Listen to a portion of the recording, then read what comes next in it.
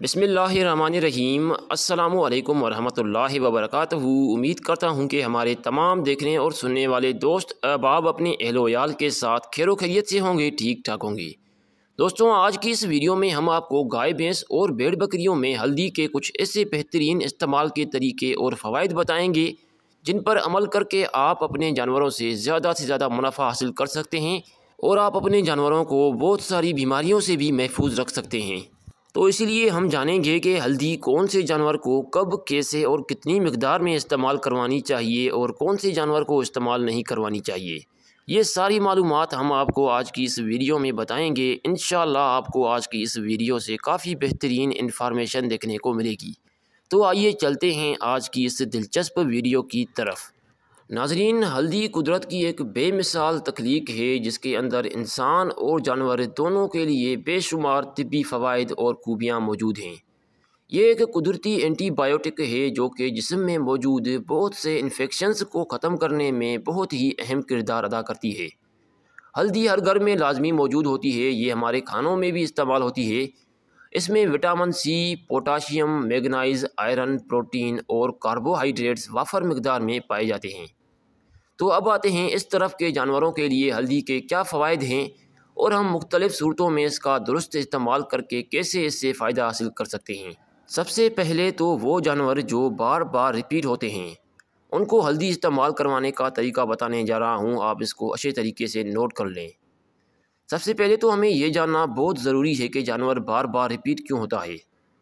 तो इसकी जो सबसे बड़ी वजह होती है कि जानवर के बच्चेदानी में इन्फेक्शन होता है या फिर किसी तरह की सूजिश होती है, जिसकी वजह से जानवर बार बार रिपीट होता है। इसी वजह से जानवर गबन नहीं होता और फार्मर्स का वक्त और पैसा दोनों ज़ाया होते हैं और फार्मर्स इस जानवर से तंग आकर उसको सस्ते दामों पर फ़रोख्त कर देते हैं और उसका बहुत ज़्यादा नुकसान हो जाता है। तो इस सूरत हाल में हल्दी का इस्तेमाल बहुत ज़्यादा मुफीद साबित होता है। क्योंकि इसमें विटामिन सी पाया जाता है, जो कि हर तरह के इन्फेक्शंस को ख़त्म करने में अहम किरदार अदा करता है और हर तरह की सूजिश का भी खात्मा करता है। इस सूरत हाल में आपने करना यह है कि अपने जानवर को पाँच से छः दिन तक हल्दी इस्तेमाल करवानी है। इसके इस्तेमाल का जो सबसे बेहतरीन तरीक़ाकार है कि आपने दो चम्मच हल्दी और दो चम्मच सरसों का ऑयल आपस में लेप बनाकर एक रोटी लेनी है और उसके ऊपर उसको आप लेप लगा लें और वो रोटी आप लपेट कर अपने जानवर के सामने ले जाएँ, आपका जानवर उसे खुद ही खा जाएगा। इसी तरह आपने ये पाँच से छः दिन तक लगातार दोहराना है। इन इसके इस्तेमाल से आपके जानवर की सूजी जो होगी वो ख़त्म हो जाएगी। और अगर उसके पेट में किसी तरह का कोई इन्फेक्शन वगैरह होगा या उसके बच्चेदानी में इन्फेक्शन होगा या कोई ज़ख़म वगैरह होगा तो वो भी बिल्कुल ठीक हो जाएगा। इसके अलावा आप हल्दी का इस्तेमाल उस सूरत हाल में भी कर सकते हैं कि अगर आपके जानवर को कोई चोट लग जाती है या कोई बड़ा ज़ख़म हो जाता है जिसमें बहुत ज़्यादा इन्फेक्शन हो जाता है तो इस सूरत हाल में भी आपने करना ये है कि आपने सरसों का ऑयल और हल्दी इन दोनों का लेप बनाकर उसके ज़ख़म के ऊपर लगा देना है और उसको सुबह शाम लगाना है और इसी तरह तीन से चार दिन तक लगातार लगाते रहना है। अगर उसका बड़े से बड़ा इन्फेक्शन भी होगा तो वो ख़त्म हो जाएगा और उसका ज़ख़म भी बिल्कुल सूख जाएगा। और इसके अलावा आपने अक्सर देखा होगा कि अक्सर जानवरों में मुँह में शाले हो जाते हैं या फिर किसी तरह का कोई ज़ख़म हो जाता है या फिर उसकी ज़बान के ऊपर ज़ख़म हो जाता है या फिर शाले हो जाते हैं, जिसकी वजह से जानवर सही तरीके से चारा नहीं खा पाता। तो इस सूरत हाल में भी आपने करना ये है कि आपने दो चम्मच हल्दी और दो चम्मच सरसों का आयल उसका लेप बनाकर उसके जानवर के जख्म के ऊपर लगा देना है। और इसके लगाने का जो सबसे बेहतरीन टाइम है, वो रात का टाइम है, जब आपका जानवर चारा छारा खाकर बैठ जाता है। उस टाइम आपने इसका ये लेप बनाकर उसके ज़ख्म के ऊपर लगा देना है।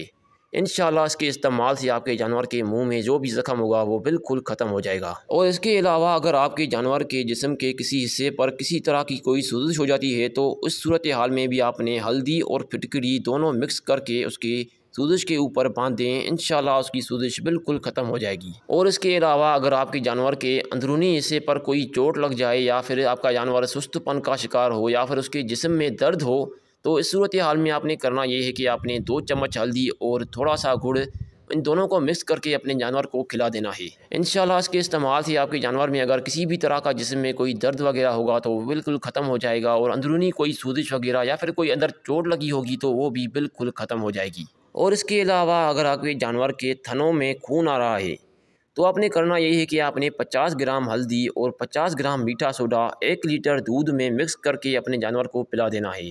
और इसी तरह दो से तीन दिन तक इस अमल को दोहराना है। इन इसके इस्तेमाल से आपके जानवर के थनों में खून आना रुक जाएगा और आपका जानवर दूध भी बढ़ाएगा।